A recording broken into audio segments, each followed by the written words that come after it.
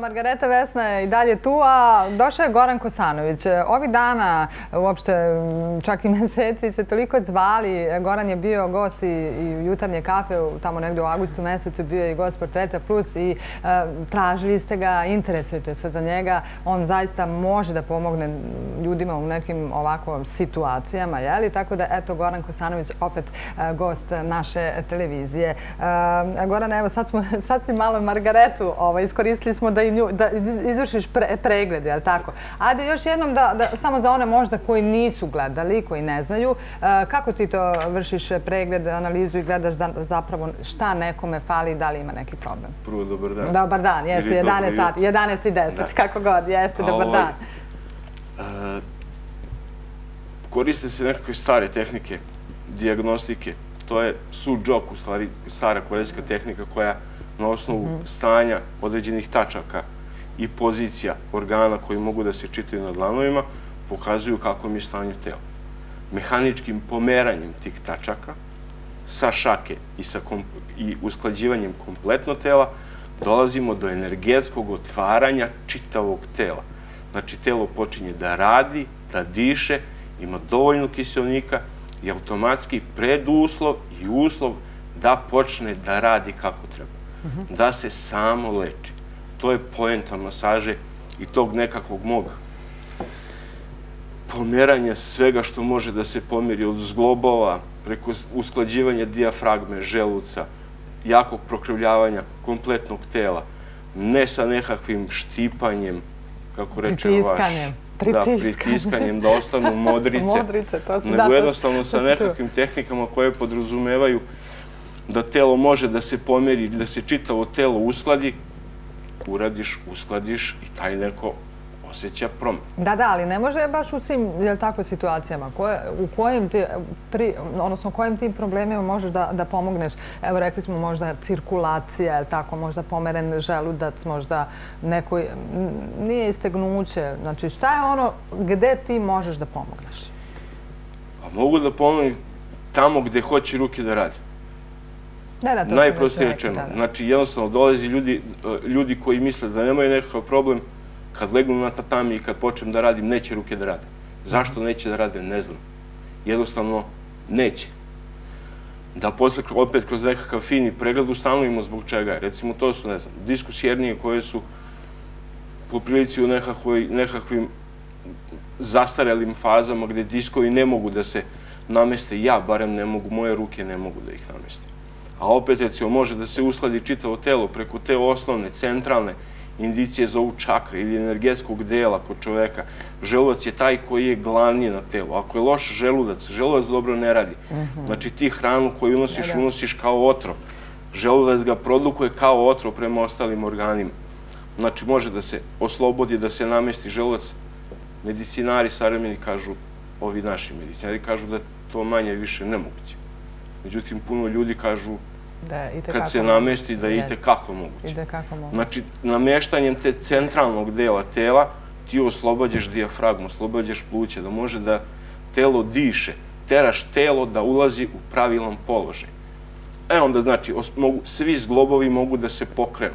Oni imaju svoje prirodne pokrete, ako uspeš da oslobodiš tetive, lako možeš da složiš mase za podmazivanje u kojima se nalaze nervi znači da ih složiš, da nema nekakvih bolnih pokreta.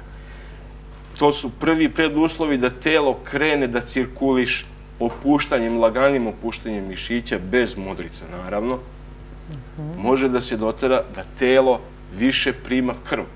To je krv koja je obogaćena sa kiselnikom. Kiselnik napada ćeliju koja je u problemu ili bilo koji deo na telu koji je u problemu i daje mu mogućnost da se regeneriše. Kiselnik je taj koji ga bukvalno hvata i regeneriše. Da, da. To je poenta čitave masaže. Čitavo telo samo uskladiti, namestiti ga. Čudno recimo kad ljudi dođu kod mene, kad legnu i sad krenemo masažu, ja kažem, a u koliko vam je kraća noga? Jeste, kaže, rekla mi krojačica. Da, i ti 15 godina vučeš tu nogu jedna cipela je totalno odrana, druga nije. Zato što je položaj noga, tako, jedna recimo znači, noga je. Bukvalno čopa, on to ne primeti. Zato što čitavo telo se krivi i zauzima nekakav vizualno ravan položaj. Međutim, to je daleko toga da je ravan položaj. To je položaj koji smeta, jer tebi karlica gura sve ostalo. Svemu ostalom smeta.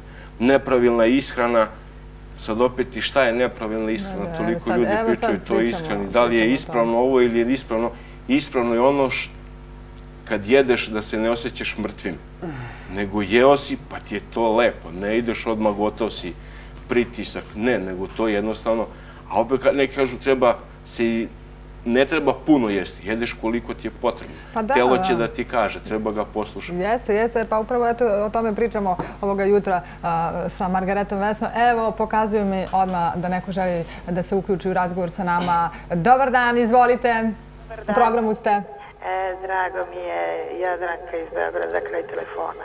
Samo malo glasnije da vas čujemo. Halo, puno vas pozdravljam i hvala vam što ste doveli ovako divnog čoveka tu. Ja imam 60 godina i htjela bi da pitam kako mogu doći do gospodina Zorana i imam puno problema i sa revom, znate, 60 godina, onda i kosti, i želudac, verovatno i sve. I recite mi e, koja je to cena da li gospodin sme da kaže u programu.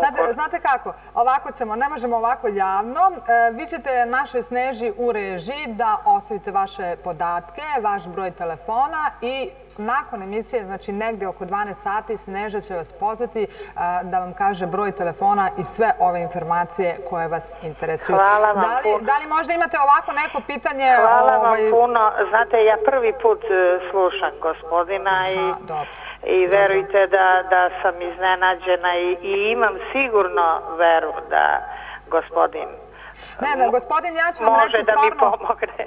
Stvarno odlično radi ovaj, i, ja sam bila kod Gorana i od njega sam čula, to je ono što smo pričali o masaži, ako ste pratili od početka emisiju sa Peđom, pa smo rekli da morate, ipak je ta preporuka važna i stvarno za onoga, i za umetnika, A pogotovo za ovako ljude koji su, jeli, što može, jeste, jeste, ovaj, znači samo preko preporuke. Ja sam preko preporuke upoznala Gorana i zaista eh, zna šta radi. To je ono najvažnije. Ono što ću vam reći, ne samo vama, nego i drugima eh, koji gledate ovu jutarnju kafu, da eh, je Peđa u Inđiji, nije daleko, stvarno blizu. Da, Goran, pardon, Goran, da je Goran u Inđiji, da, ovaj, a Inđija, ako ste u Beogradu, svakako je tu. tu.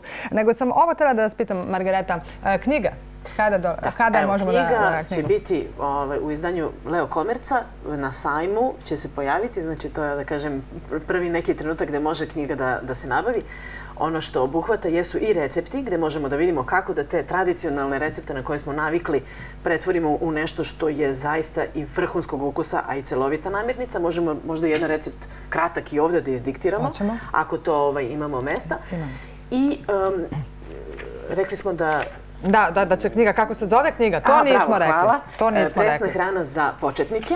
Dobro. I zaista obuhvata sve ono što podrazumeva nekakav prelazni period, tako da mi, prateći potrebe svog tela, što je najvažnije, zaista optimizujemo svoju ishranu. Ne insistiram isključivo da je to presna hrana, znači, ali ono što je Igor mm -hmm. rekao, hrana isto mora da ima taj kisonik a samo sveža hrana ga ima. Kuvana hrana nema. Ode kisonik, ode sva voda. Jel? Hrana mora da nas hidrira. A samo šta, sveža Gorane, hrana ima, ima Goran ovaj, se sme, ne, mene interesuje šta Goran ima kaže. Da hidrira aha, telo. Aha. Moja, da. moja Jelena, moja žena, ona je uvela ja ujutru već ima jedno mjesec i po dana. A vi, htjela sam da kažem da si slušao. Pa malo sam ja. Boga mi nije malo. Ona miksuje, ima šargarepa, jabuka, orasi, bademi, ne znam šta sve to. To je miks i meni to je ekstra. Ujutru je to super. Ja imam problem, ja ujutru ne mogu da doručkujem. Znam da je to greška. A sad možeš. Ali, ali Gorane, nije greška. Ako vaše telo ne traži doručak ujutru, okej, to je super, jedite kad ogladnite. Moram, ja moram zbog problema sa šećerom. I onda mhm. moram da imam doručak. Mhm. Onda možda voće onako skroz... Da, da ali sad ste to regulisali sad. Super je, super, ekstra super. I mnogo se... Želuvac je lakši, bolji. Jest, jest, uh, jest. Stolica je mnogo bolja, sve to. Jest, I ja sam nešto jest. po prilici raspoloženju. Ja, da, da, da, jer da, jeste, hrana jeste. da i dobro raspoloženje. Jeste, Nije sad samo to. I tu lakoću što kažete, jer vi kad pojedete težak obrok, Pa, kažu kako ja da fizički radim ako jedem samo voće i povrće. Pa upravo to će ti dati lakoću. Kad pojedeš težak obrok, to te tera da ideš da spavaš. Ima jedna druga stvar. Radit ćeš koliko budeš mogao da radiš. Između ostalog i tu prati. A ti veštačno sebi sa tim nekim stimulansima. Daješ stimulans da radiš i onda dolaziš u situaciju da se izlomiš, da se iskidaš. Jeste, jeste. Rezerve tela iscrpljuješ, u stvari to nije point. Nije point. Znači, treba stvarno osluškivati svoje telo. Jeste. Evo, neko opet zove i želi da se uključi. Jeste tu još? Da. E, dobar dan, izvolite. Dobar dan, izvinite, htjela sam da pitam gospodine. Gorana? Ovaj, u vezi moga sina, on je doživio možda i na udar, pa tako ima problema sa rukom. Da li bi mogao nešto da učini za, za njega, da li je leči i tako, razumete? Pa da vam kažem, ja ne lečim, ja samo pokušavam da pomognem čoveku da krene njegovo telo da radi i da se leči. Kod moždanog udara to je sistemski, znači sistemski, sistemska promjena na mozgu. To je po prilici diskutabilno. Da li može ili ne može, opet ne znam dok taj neko ne dođe i ne pokušamo. E, da vidite, da. Ako uspem da... Da došle vaš broj telefona pa da se mi čujemo. E, da, da, evo, ja sam rekla, znači još jednom vam ponavljam, ne možemo ovako, jeli? E, ostavite našoj Sneži u režiji podatke, zovemo vas, dajemo vam broj telefona i sve informacije u vezi Gorana, a onda se dogovarate sa njim i vidite. Jel možda imate još neko ovako pitanje na koje vam, evo, ovde u emisiji može direktno odgovoriti? Eto, htjela sam to da se čuje sa njim i eto, da mi da broj telefona pa da odemo da vidimo. Jer on ima sve ovako pokrite, samo šaku ne može, znate? Da. Eto, samo šaku ne može. Dobro, opet, znači, čućemo se pa ćemo da vidimo. Popričat ćemo, pa ako ja bude mislio da mogu, ja ću rado da vas primim pa da pokušamo da vidimo šta. Znači, ali opet sve to ulazi u to da ja pacijenta neću povrediti, mogu da mu pomognem ili ako ne mogu da pomognem, sešćemo, popićemo kafu, rakiju, uvek imam dobro i to je to. To je sigurno, dobro. Hvala vam, hvala vam. Eto, znači, ostavite podatke e, Sneži u režiji i javljamo se, odnosno Goran se javlja. Neki recept samo da, evo, a možda za neki kolač ili tako, ne znam. Baš sam e, imala ideju da to bude, da molite, zapiši. Ovaj, veoma je jednostavno da se napravi. Dobro. Pravi se za bukvalo 10 minuta. Dobro. Rogač kuglice.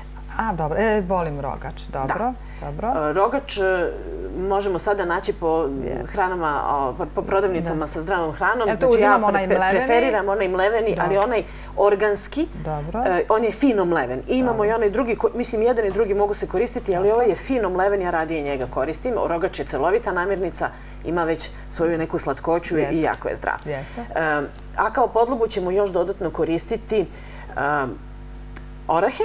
Dobro domaće orahe, ono što insistiramo na tim semenkama jeste da se potope u vodu, da bi one oživele, da se tako izrazim. A vidjet ćete kada ih, kada posle 8 sati provedeno u vodi, taj orah bude kao mladi orah.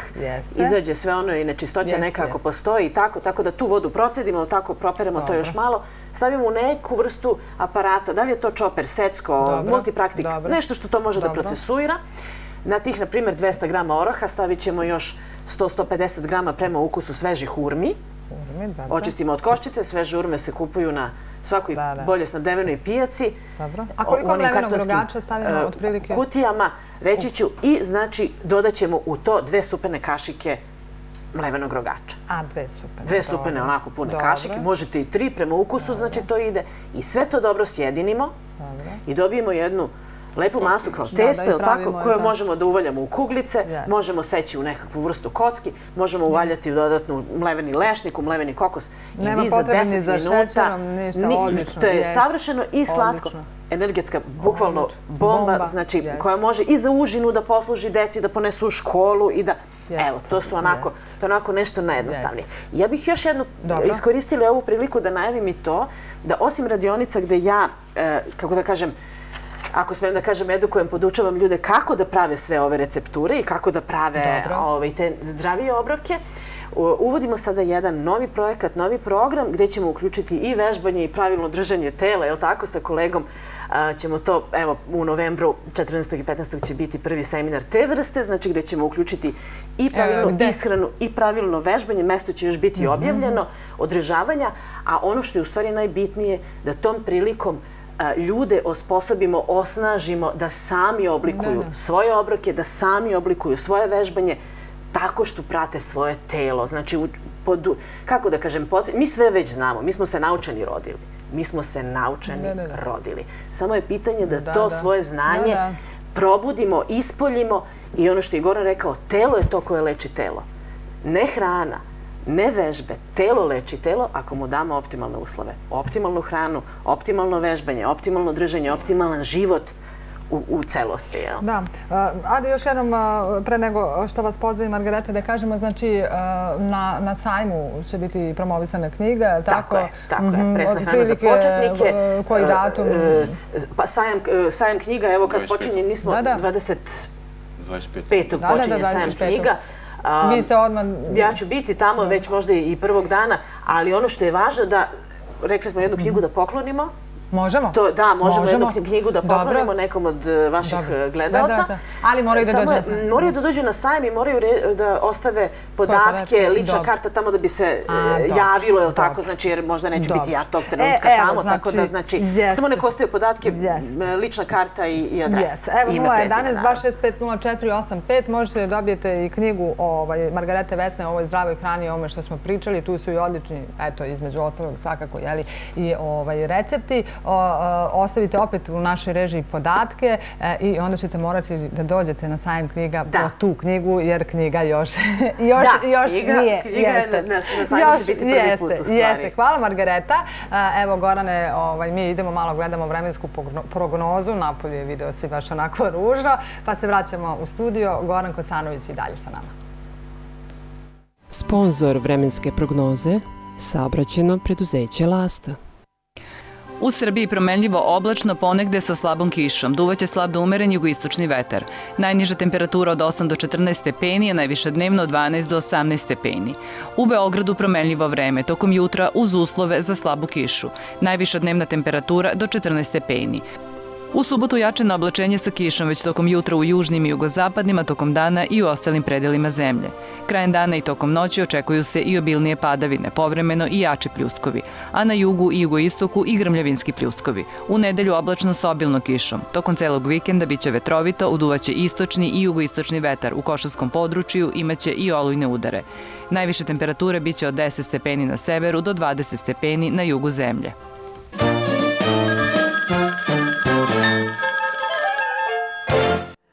Imamo sada Lastu na vezi, e, pa ćemo da čujemo i kakve su to servisne, odnosno koje su to servisne informacije. Dobar dan iz studija naše televizije. E, dobar dan e, vama iz Lazde.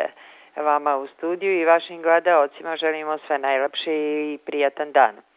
Lasta će svoje putike danas prevoziti po ustaljenom redu vožnje za radni dan, što znači da će linijski saobraćaj biti angažovano 586 vozila, a i obavljeno 6058 polazaka. Prema informacijama kojima raspolažemo da ovog uključenja saobraćaj se odvija bez zastoje i neodržanih polazaka, Danas očekujemo pojačan intenzitet saobraćaja u popodnevnim časovima, posebno na međumestnim linijama. E, imali smo, e, najavljeni su bisevi za Smederevsku palanku u 17. 18. 20. i 30 časova i Blace u 18. E, tamo gde bude još interesovanje putnika, otvorit ćemo dodatne bis polaske. Što se tiče međunarodnog saobraćaja, danas e, jutro smo ispratili Ljubljanu u Poreč, Kopenhagen, Göteborg u 8 časova, Pariz u 10.45, a imamo još da ispratimo o, Beč u 16 časova, Split u 20.30, Grac u 21, kao i Ljubljanu u 21 i Beč u 21 čas a očekujemo da dođe autobus iz Grace, Ljubljane, Splite i Pariza. Sve dodatne informacije o polascima i dolascima autobusa kao i o cenama karata putnici mogu dobiti tokom 24 časa na telefone 0800 334 334 i telefon 011 33 48 555, a rezervacije za inostranstvo mogu se izvršiti na broj 0900 334 334. U ime dežurne ekipe Infecentra svim vašim gledaocima želim prijatan dan, a našim putnicima kao i voznom osoblju srećan i, u, i sigurno u, i udobnu vožnju. Toliko za ovo uključenje iz vlaste.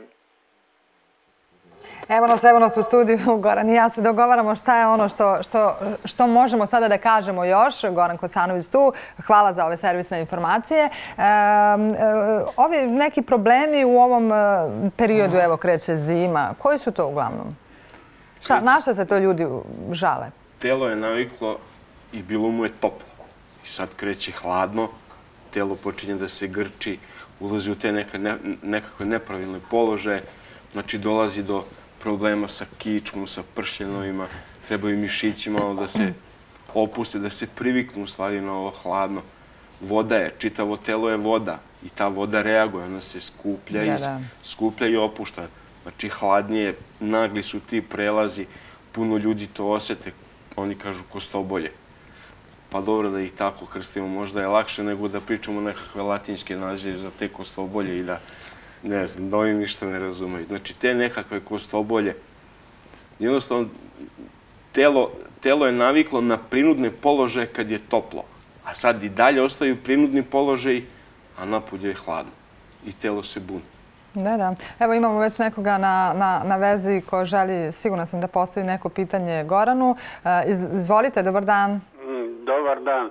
Prvo ako mogu dobiti knjigu od e, e, gospođe sa posvetom knjigu, dobro. E, dobro, ostavite, znači ostaćete na vezi posle i ostavite svoje podatke. čuli ste, znači morat ćete dođete na sajm knjige, u stvari sajm knjiga i dogovorit ćemo se već e, sa Margaretom kako i gde ćete ovaj, uzeti knjigu. Knjigu ste dobili, da li možda imate neko pitanje za Gorana? Imam pitanje. Ja imam jako, e, pošto imam godina dosta, i proživljeni dosta ovaj, e, e, događaja u mom životu. Ja e, imam kostobolje i imam, imam neke, e, neke nerešene probleme koje ne mogu da rešim. E, sve razmišljajući o ovom privremenom, privremenom rešenju za smanjenje penzija. I ne znam kako da rešim taj problem jer meni, ovaj, e, meni to utiče na zdravlje, pošto nemam visoku penziju, pa ne znam kako da se izdržavam. A, da li može gospodin da pomogne? I nemojte pozivati samo samo one, jer pozovite one koji obećavaju, koji mnogo obećavaju, a mi se nadamo.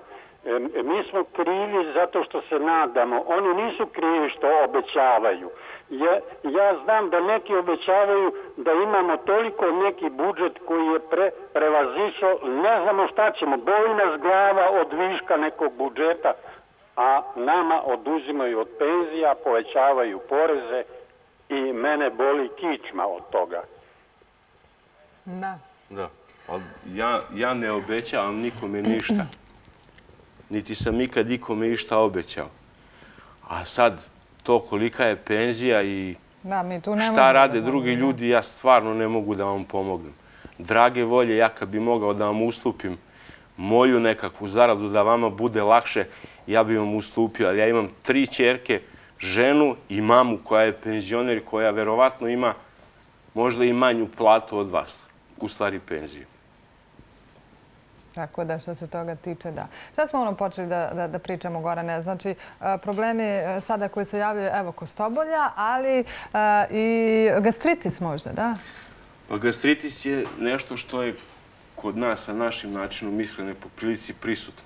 Znači, jednostavno, mi smo takvi kakvi smo, navikli smo na nekakvu jaku hranu, začinjenu hranu, masnu hranu. Ja sam bio prvi koji je to sve radio dok nisam rešio da to malo izbacim i onda sam smršao 44 kg.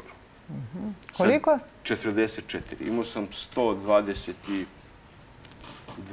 kg. I jednostavno, rešenje je bilo nevredivo, sve stiska, loše, stomak je loš. Džaba su bili i treninzi, sve živo, ali ne vredi, jednostavno ne vredi. Rešio sam da skinem i kilograme, počeo da nosim dovoljno vode, znači da pospešim tu vodu u sebi koja jeste da radi i da u stvari telo vrši detoksikaciju, da izbaci i višak masnoća i višak tih nekakvih toksina koji se skupljaju. I samim tim što sam skinuo kilograme, počeo da pijem dovoljno vode, taj nekakav gastritis ili problemi sa želucom ili polugastritičan želuc, sapiranje donjeg dela želuca zbog lučenja pepsine, repsine, izde želučane žlezde, to se po prilici smanjilo. Najlakša i najefikasnija dijeta je voda. Doktori u Japanu kažu da nema bolje dijete od vode. Čaša vode pre obroka, čaša vode posle obroka, pomogne želucu prvo da vari. Ali eh, voda ne sme da bude hladna? Naravno, hladna voda mhm. poremetiš, znači unutrašnju temperaturu tela, energetske si ga uzdrmao. Ne ni vruća voda, znači najnormalnija mm, voda, voda koja je na sobnoj temperaturi. Na sobnoj temperaturi. Evo, imamo još nekoga ko želi da se uključi. Nadam se da imate neko pitanje, postavite Goranu. Dobar dan, izvolite. Dobar dan. Nema. Otišao je gledalac dok smo mi razgovarali. Ali šta sa onim ljudima koji su mršavi, a imaju recimo problem sa gastritisom i možda nije problem u hrani, ali... Gastritis je nešto što vuče i, da kažem, sa psihičke strane. Ti nekakvi stresovi, nervoze, konstantni pritisci na čoveka po prilici utiču na to da želoc ne radi kako treba jer samim tim atakovanjem na mozak, mozak daje signal prema telu da negde tu vrstu energije negativne mora da kompenzuje. Najlakše ga kompenzuje na želucu. Mhm. Želuc odlazi gore i to je već problem. Dobro, ali ti možeš da pomogneš što se toga tiče ili... Pa mogu nekakvim savjetom, tim nekakvim osmehom, e, kad dođu kod mene... Ali nameštanjem želuca, ne? Sa želucom, da, namesti se, on se povuče dole, namesti se, on nađe svoje mesto gde opusti se. E sad, ako namestiš sve i uradiš sve i taj neko ode i na poslu mu se gazda popne ili već šef, na glavu i počeo da ga maltretira, on se iznevio šta Naravno, opet će se vratiti, je tako, gastritis. Da. A šta kažeš što se tiče ove hrane, uopšte te kombinacije, znači, e, eto, na primjer, hranimo se nezdravo e, i, i, dolazimo, recimo, idemo na masažu ili dolazimo kod tebe ili treba da, znači, da pazimo ili recimo dođemo kod tebe i onda se vratimo ponovo jedemo nezdravu hranu, znači, to moramo isto da, da pravimo jedan balans, znači, da pazimo, ne možeš nam, recimo, ti ili bilo ko, ako govorimo o nekoj, da kažem, alternativnoj vrsti hrane, Ovaj, lečenja pomoći ako mi sa druge strane sa tom hranom... Mislim, uopšte nisam te pitala tvoj komentar što se tiče Margarete Vesne i uopšte tog načina hrane. Naravno. I doktori i nutricionisti kažu da recimo svinjetina nekog čovjeka izaziva agresiju. Samo svinjetina ili uopšte meso? Pa ne možemo generalizovati uopšte meso. Znači, ali svinjetina je nešto što izaziva kod čovjeka. Ja znam po sebi.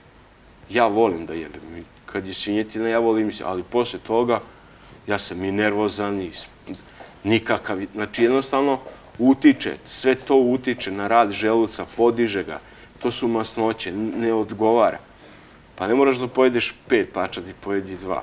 Pa ako si već došao na masažu, uradili smo to što smo uradili, ti se osjećaš bolje, pa ne moraš posle tri dana da sedneš, pa ajde, idemo, sve i ovo. I on, meni nije dobro, pa šta si radio? Bilo mi je, ne znam, ima ljudi kažu zovu, bilo mi je dobro, sedam dana super sam se osjećao.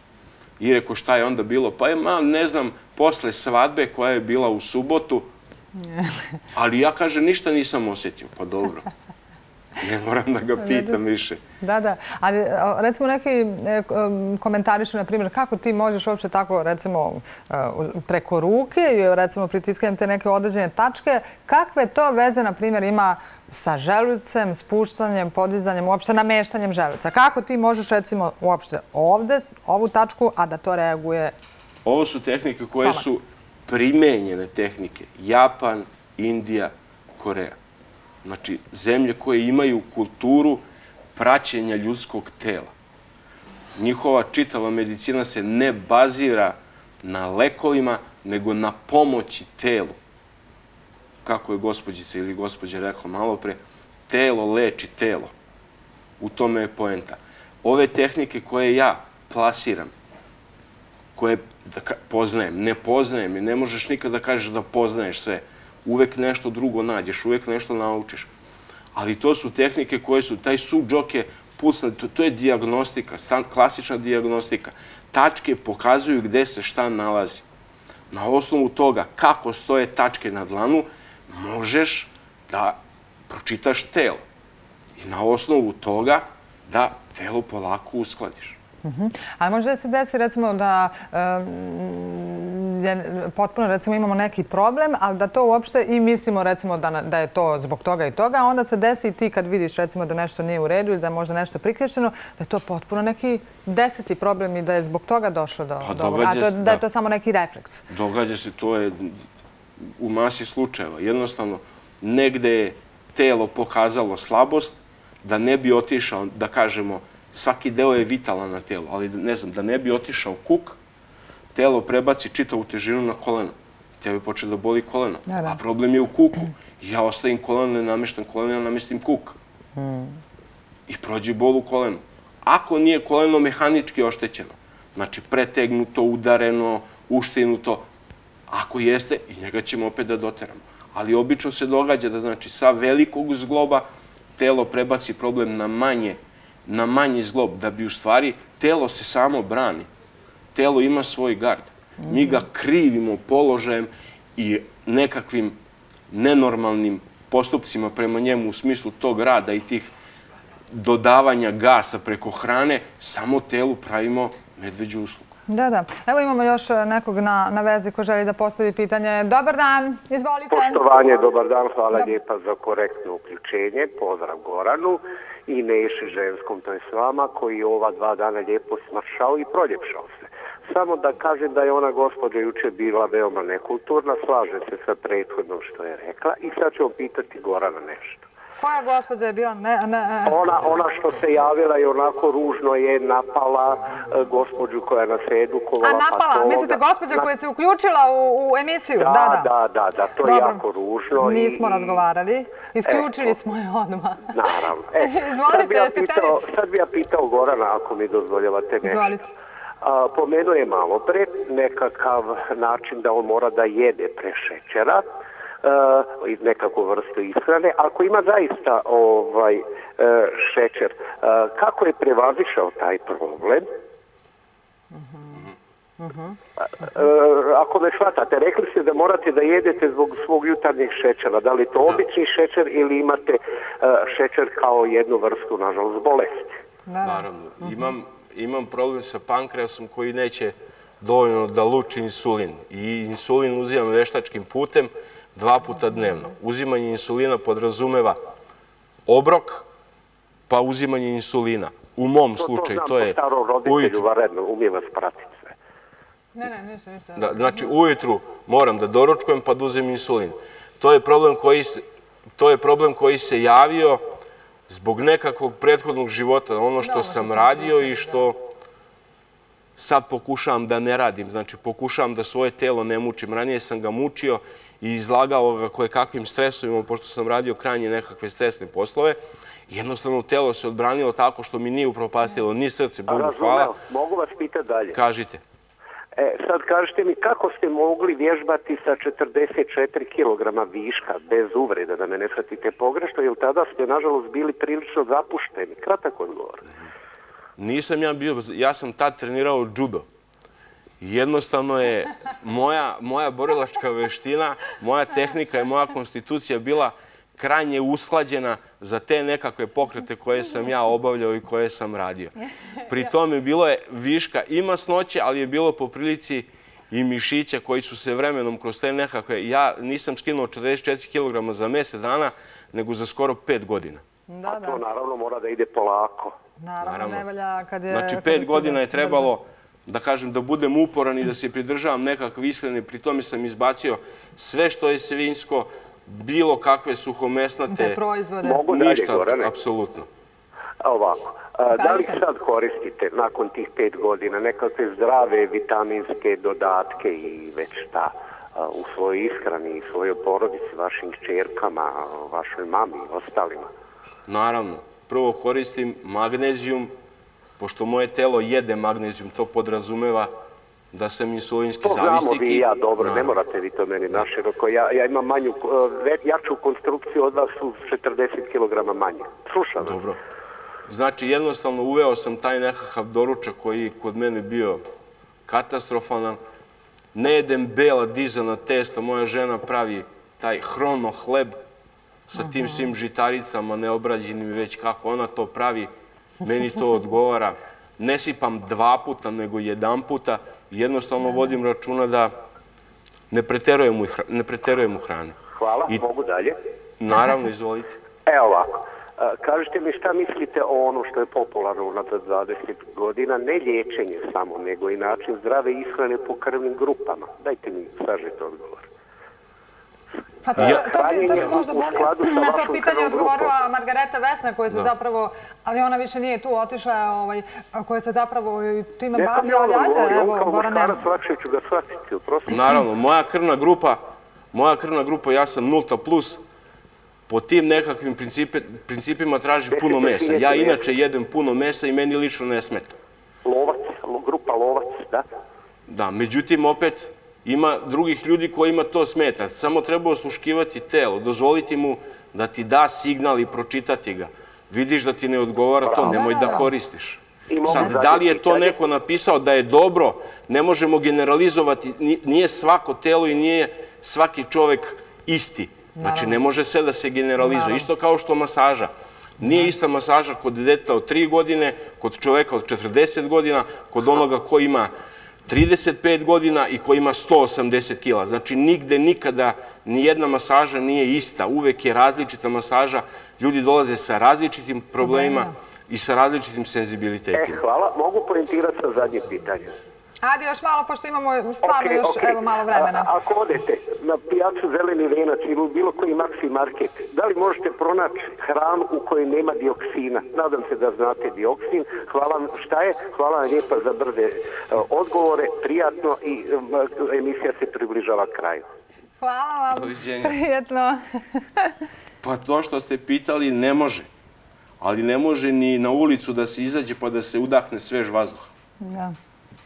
A mi tu ne možemo da uradimo ništa. Ništa, tako. Tačno, tačno, tačno. Koliko možeš da se pa sačuvaš otrova, sačuvaj se. Ne treba, ali ne treba, stvarno ne treba preterivati. Ovo smo ovako nekako i stvarno zaključili, evo danas, da svako treba da vidi šta je ono što nama, što vama, što vama prija. I što se tiče tog vežbanja, ne znam kada si imao toliko kilograma, koliko si imao, dobro, okej, to je bila potpuno borilačka veština, jeste, ali recimo u nekim uopšte uslovima i za neke druge stvari nije dobro vežbati kada imate viša kilograma. Znaš, za to treba prvo da smršate, pa da onda počnete da vežbate, jer vi to salo, da tako kažem, pretvarate u mišiće. Je li tako? Znači, dolazimo na to da treba pravilno vežbati. Jeste, pravilno vežbati, pravilno se hraniti. Da li imaš ili viška, bitno je da pravilno vežbaš. Opet, pravilno vežbaš ako slušaš svoje telo. Ne možeš da ga istežeš i da te boli. To nije dobro istezanje. Znači, pogrešio si u vežbi. Ne možeš da radiš propadanje ako imaš 150 kila i zemlja te vuče dole kolo. Ti ideš da praviš propadanje i kidaš sam sebe. Znači, radi ono što možeš da radiš, ono što tvoje telo, tu negativnost, to salo, će da pretopi u mišiće. Da. A kako uopšte ti, tako kažem, se obrazuješ što se tiče ovog, ovog svog poziva? Kako i gde pronalaziš te nove informacije? Jer nekako to stvarno dosta napreduje, a ne znam baš koliko mi ovde imamo i da li imamo dovoljnih, dovoljno tih informacija. Pa informacija ima sasvim dovoljno. Google je čudo. Znači, ako te interesuje na Google, ćeš da izgooglaš sve što te interesuje. Od kako je građeno ljudsko telo do toga šta može da uradi zglob. Šta je dobro da se hrani. Ali ako ukucate, ne znam šta vam fali, pa vam izađe tamo hiljadu onih nekih šta može da bude, nemojte pa tako. Pa sad opet, opet znači kucaš ono što te interesuje. Sve što ti interesuje, znači informacije su dostupne. Koliko ti interesuje, toliko ćeš da saznaš.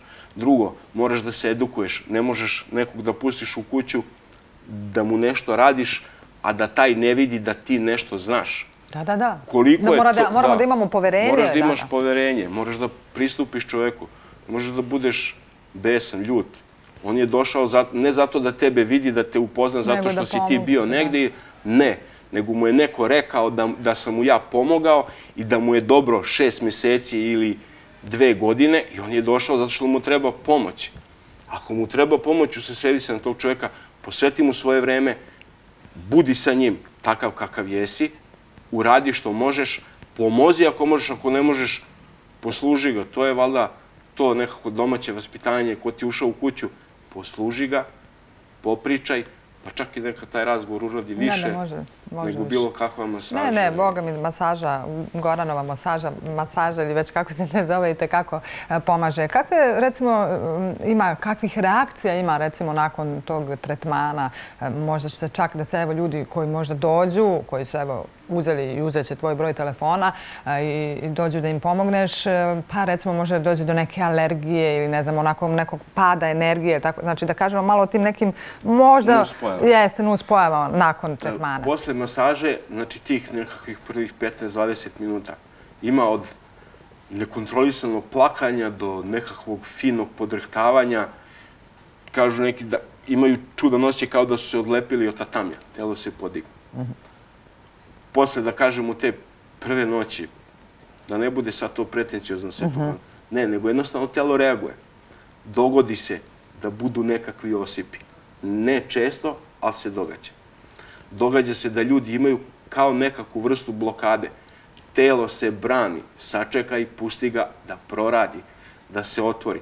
Tako da imaju ljudi od moje žene koju relativno redovno masiram, preko najstarije čerke, pa ne znam, preko ostalih ljudi, reakcije su, kreću od, na primjer, prvi dan pa nekakva težina, već su tada sasvim drugo. Do jedne gospođe iz Golubinaca, ja se predstavio kad me zvala posle devet dana, kaže, ja sam, kaže, kao džak da nosim na sebi. Neko, dobro, dođite odmah su tada da vidimo šta je. Međutim, ona su tada ujutro zove, kaže, kao da je neko krenuo prekidač. I bila je savršeno šest meseci dok nisu stigla ponovo drva i napravila džumbus upropastila se. Opet smo nameštali, opet je bila reakcija 9 dana. Znači sve individualno od čoveka do čoveka. Da, ali kako reagovati? Recimo dođe do alergije i šta? Imate telefon, zovite me. Mhm, ali uglavnom šta ti savjetuješ? Šta recimo, je to dobro? Je to dobro recimo ako dođe do? Normalno je, telo je mhm. izbacilo toksin, odreagovalo je. Pokrenuli smo čitavo telo. Jednostavno neće da ga izbaci ne znam gde, nego ga je pokazalo kao reakciju na koži ništa ne odlično. E, da, da treba piti onda lekove za alergiju ili šta? Ništa? Ne treba. Tu spustiti se, sesti, udahnuti, pustiti mozak da radi, izbaciti tih brdo nekakvih informacija koje nas bombarduju. Potpuno bespotrebnih, jeste. Izaći na terasu, opustiti se, prošetati. Udahnuti svež vazduh. Udahnuti svež vazduh koliko je svež. Jednostavno, nije to nešto što je, ne znam, za sad se pokazivalo kad god je neka, neko imao nekakav osip, obično je to na, na ovim ovde delovima, telo tako reaguje. E, to znači izbacuje? To izbacuje, se... izbacuje toksin. E, to, do, to je dobra reakcija? Dobro, hvala Bogu, dobro je. Mm, mm, znači, nije to ništa ekstremno da, da svrbi, da, da, da. iritirajući, nego jednostavno je vidan nekakav osip. A koliko recimo obično tako te alergije traju? Opet je bilo od dva, tri, četiri dana, do sad te informacije neke koje su mi se vraćale četiri dana je bilo maksimum.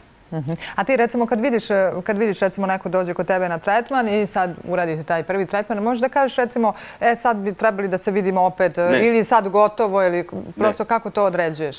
Ili to taj neko ko dođe kod mene, ja se potrudim da mu pomognem i da uradim sve što mogu da uradim prvi put. I telo mora da odreaguje. U zavisnosti koliko je vama potrebno i kad ćete doći kod mene, ne odlučujem ja, odlučujete vi. Tako da ima ljudi koji imaju kod mene tretmane na svaki 15 dana, jedan put mesečno, jedan put u tri meseca. A ima ljudi koji su došli posle četiri godine, kaže četiri godine, ništa mi nije bilo ekstra, e sad sam, ne znam, pravili su nekakvu ploču, nekakvu kolica, oklizvao se i povredio se. Znači ja tu, sad to, pet tretmana, deset tretmana, mislim da nije pristojnije prema ljudima koji dođu kod mene, jer ne dolaze svi ljudi tu iz okoline. Puno ljudi, ne znam, iz Užica su juče bili pacijenti. I sad, koliko njoj treba iz Užica dođe do mene, normalno platit će ono što sam ja radio, pa onda od mene da se vrati za Užice, pa ne može. Da, ali interesuje me dosta ti, da tako kažem, te energije drugih ljudi, pa i dosta te neke negativne energije skupljaš, jeli? Kako, kako, ali moraš i da paziš svakako na sebe, kako tu energiju nekako izbacuješ, kako se pa ne... oslobađaš toga? Kroz taj nekakav moj judo koji sam ja trenirao, naučio sam nekakve tehnike fine, fine, da ne kažem meditacije, relaksacije, da se telo opusti. Drugo, imam decu, imam ženu. Ne, ne, to je isto najvažnije, o tome smo pričali. Znači, to je, da kažemo, kompaktna porodica. Nešto što te stalno izlači iz bilo kakvog problema. Emocije su tu bitne. Ako je neko od njih bolestan, ti već imaš mali problem. Ne dozvoljavaš da ti to slomi, gledaš njemu da pomogneš, radiš svoj posao, najbitnije je da uživaš dok radiš. Prvi put kad budem kleknuo, i ne bude mi se radilo, bude mi muka, ja ću da predstavljam da radim, neću da radim, neću nekako... A koliko dugo već radiš? Pa prve nekakve pokušaje nešto to da radim je još dok sam bio dete. Da, da, to znam, to znam. Ali ovako, mislim, ovako sad... zvanično je počelo e, pre četiri godine. S tim pa da sam sad ozvaničio svoju, da kažemo, firmu. Mhm. Da ne moram da imam probleme od nekakvih ljudi da mi šalju nekoga ili... Da, da. Ali samo me ovo još, evo, kraj emisije interesuje. E, kako, jel ti možeš sebi da pomogneš? Pa mogu malo. Ne mogu puno, ali imam... imam Mislim, ne znaš kako. Mogu, ali... Može žena ili evo čerpica koja je talentovana. Žena malo nešto pomogne. Dobro. Dam joj upustvo gde, šta, kako, osjeća se taj nekakav senzibilitet, ta nekakva konekcija kaže mi šta, kako, gde i ona pomogne. Kad ne može, postoji jedan špic, kad je problem kičma, postoji jedan špic na šanku, stanem, namestim ga. A želudac, dobro, želudac možeš. Želudac ja mogu da namestim, ali ja nemam, Bogu hvala, problema sa želucom nikako. Ne, eto, vidiš. Eto vidite. Da, evo došli smo do kraja ove e, jutarnje kafe. E, ja vas pozdravljam. Svakako vam preporučujem da gledate e, emisiju, moju emisiju, čiji sam ja autor i voditelj, a to je emisija Portret Plus, koja je na programu naše televizije četvrtkom i subotom u 18.30 i nedeljom od 19 sati. Meni je bilo zadovoljstvo i ova dva dana što sam bila uz vas i što sam pila ovu Grand Kafe kafu. Evo, e, za Gorana smo rekli, Goran Kosanović, znači možete da pozovete, mi na našoj televiziji imamo njegov broj telefona, ostavite vaše informacije, sve ćemo vam dati i možete da idete kod Gorana. Goran Kosanović, evo, hvala Gorana što si i ovo jutro bio sa nama. Prijetno! Prijetno.